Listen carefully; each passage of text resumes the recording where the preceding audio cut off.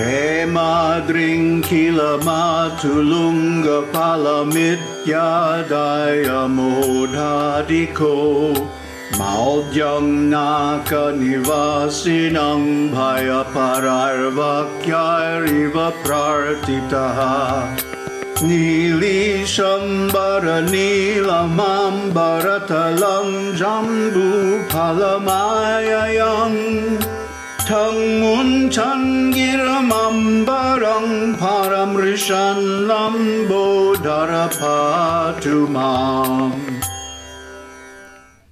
Namaste. Welcome to today's episode of Daily Sutra. So today I want to go over the second Dhyana Shlokam from Sri Lalita सहस्रनामम्।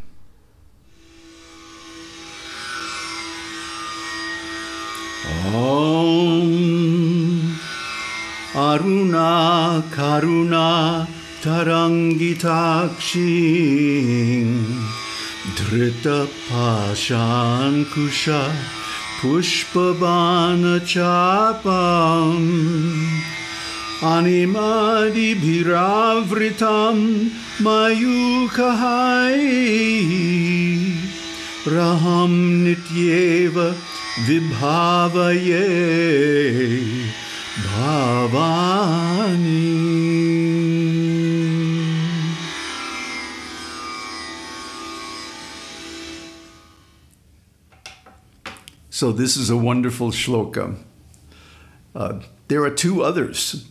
dhyana shlokams, that begin Lalita Sahasranamam, but this one is by far the most popular, and tradition has it that it was composed by Shankaracharya. So let's look into this. Arunang means red, like the rising sun at dawn. And red is the color of compassion.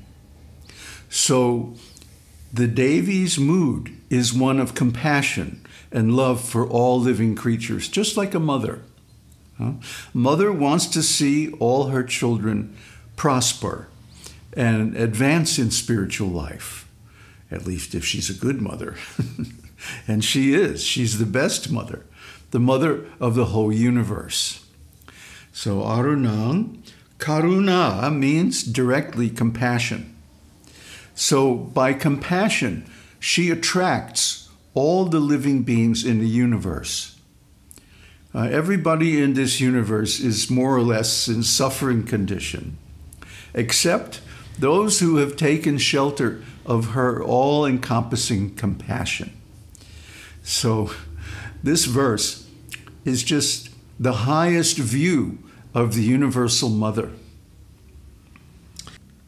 Tarunangitakshim, the waves of compassion emanating continuously from her. We made a song called Tears of Compassion, Lavender Tears. And uh, here's a link that goes to the recording and the explanation. Dhrita means supported by. She's not alone. She has power and she has many, many expansions of Shaktis and also soldiers and weapons. And so the shloka is going to go into the weapons that she holds in her four hands. Pasha means noose. Pashu actually means rope. Uh, but by this noose, she drags one from one life to the next by her law of karma. Karma is the universal law, it's unbreakable, it's very subtle, and it's inconceivable, it's beyond human intelligence.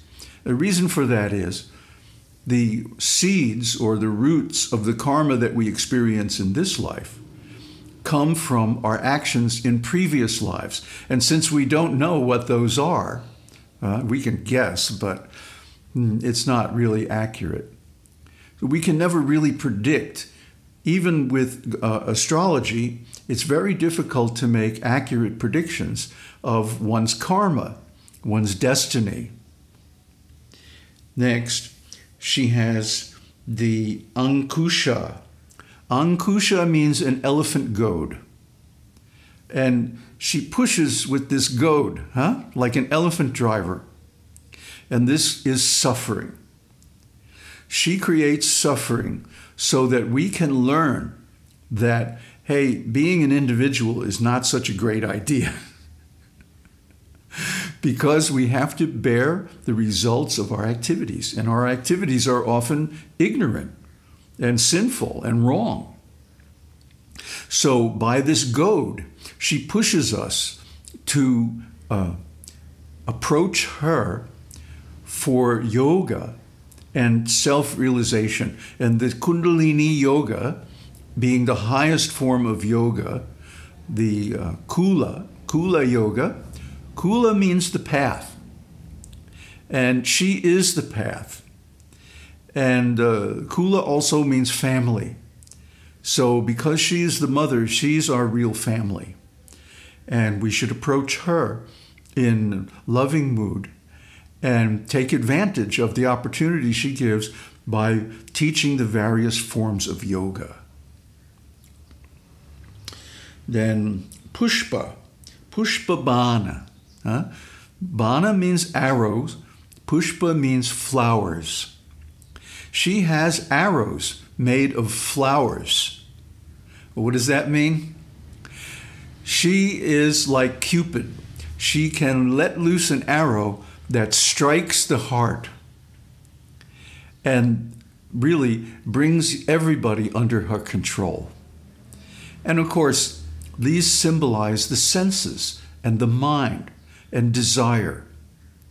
Just like Cupid uh, aims his arrows at the heart, but she can aim them anywhere, at any of the senses, including the mind.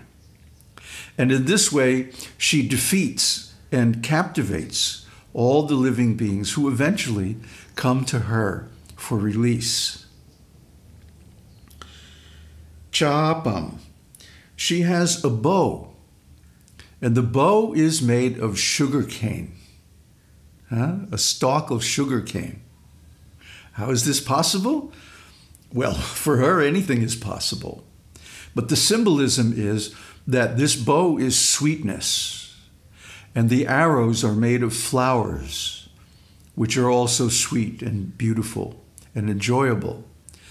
So she is the topmost enjoyable thing. Uh, her mercy, her compassion is so beautiful and wonderful.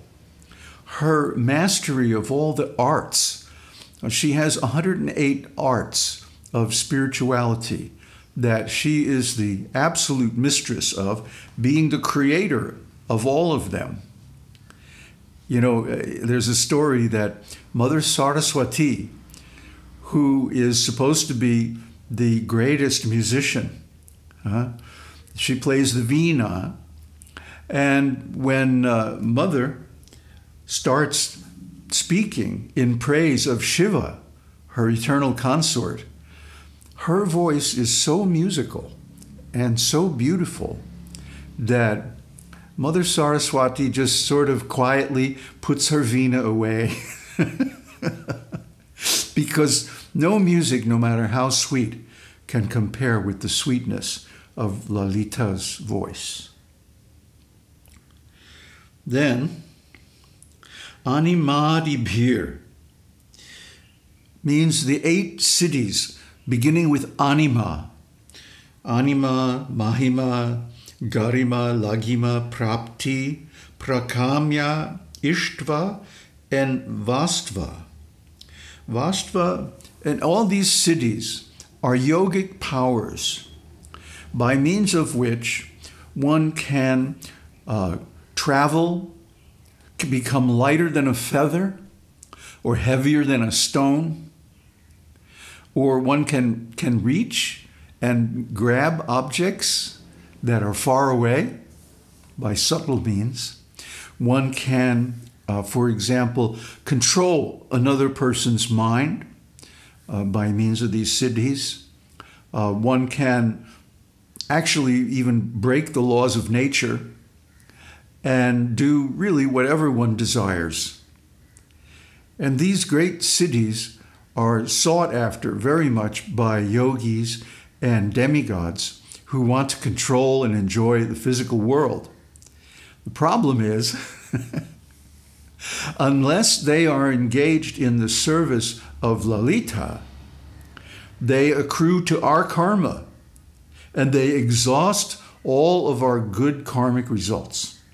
This leads to falling down from whatever high position one may obtain by them and back into ordinary life. So the lesson is don't mess with siddhis. Don't go through all that trouble to attain something that's just temporary. Now, if she wants you to have a siddhi and use it in her service, that's a different thing.